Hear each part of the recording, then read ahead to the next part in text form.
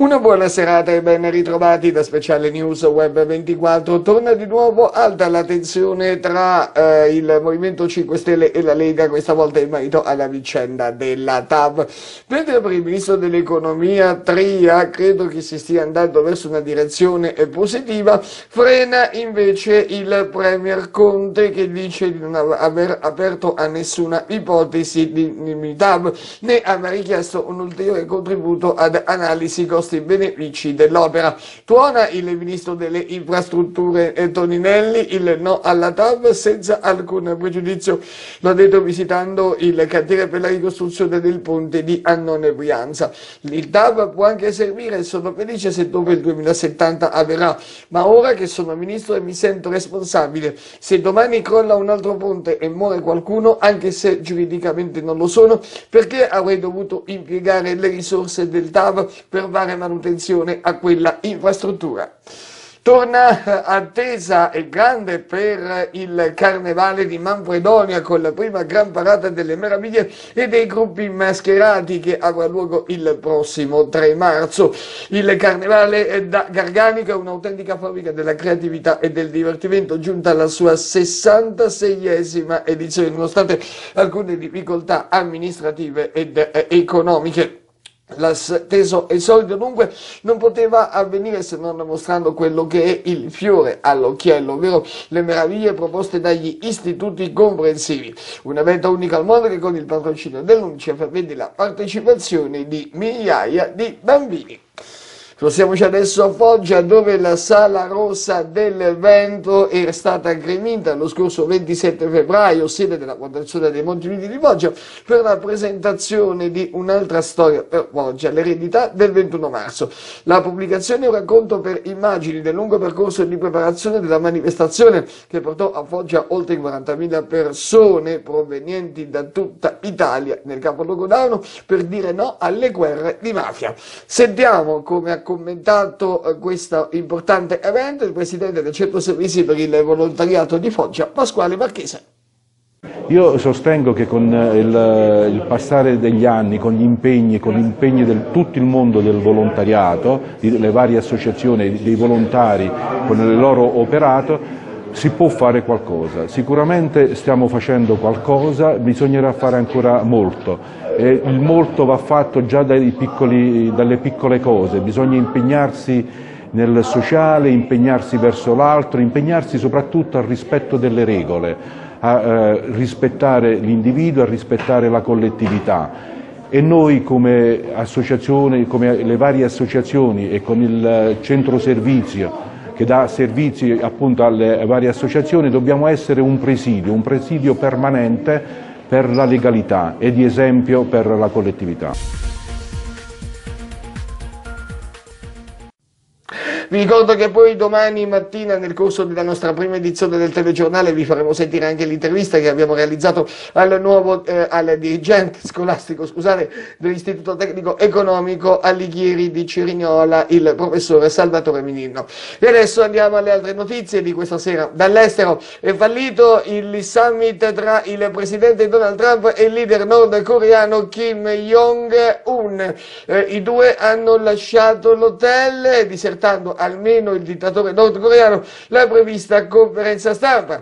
Il presidente Trump, che invece ha incontrato i giornalisti, dice che Kim ha rifiutato la richiesta di togliere le sanzioni, ha detto che le differenze sono state ridotte, ma ha una visione della Corea del Nord che non coincide con la nostra. Eh, I nordcoreani avevano chiesto nel summit un allentamento parziale delle sanzioni in cambio dello smantellamento della struttura principale di Jung e Bion. Dunque, il summit è fallito, ma eh, ovviamente dice la portavoce eh, statunitense Sanders, i colloqui continueranno nel corso dei prossimi giorni e delle prossime settimane. Il sindaco di Volturino Santa Croce, in un post eh, lanciato su un noto social, si dichiara stanco di essere preso in giro per quanto riguarda la vicenda dei lavori della galleria Passo del Lupo situata sulla statale 17 che sarà eh, richiusa, che dovrebbe rimanere chiusa fino al prossimo 31 marzo. Chiede l'intervento urgente del prefetto perché questa situazione non può andare avanti e francamente, dice il primo cittadino, mi sono stancato di essere preso in giro e aggiunge sul lato di Volturara vi erano due operai che smontavano le cabine elettriche, sul lato nostro nulla. Stanno finendo di massacrare la nostra economia e invito nuovamente tutti i sindaci e la popolazione a protestare civilmente.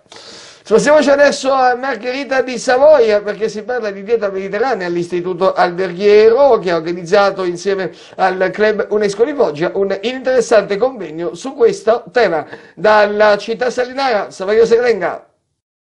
Presentati a verso 2019 le proposte per promuovere nei prossimi mesi le migliori specialità vitivinicole, olivicole e gastronomiche della Puglia, rivolte ai turisti del gusto delle aziende socie di Movimento Turismo del Vino Puglia, Buona Terra Movimento Turismo dell'Olio Puglia e La Puglia è servita.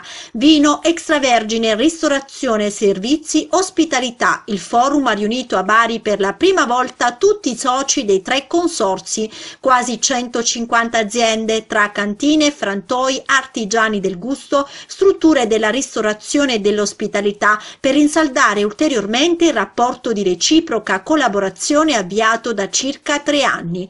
Ricco il calendario 2019 tra conferme e novità, tra gli altri appuntamenti a maggio cantine aperte e ad agosto calici di stelle, il galà dei vini del Movimento Turismo del Vino Puglia, la terza edizione di Abcolio, la manifestazione manifestazione dedicata all'extravergine pugliese a cura di Buona Terra e Ulivo Dei, giornata dei frantoiani di Puglia nei primi due weekend di maggio e sempre a maggio la prima edizione di Passaggi, una grande festa del gusto con preparazioni a cura dei cuochi della Puglia e Servita e la terza edizione di Cucine Aperte in programma il 28 settembre.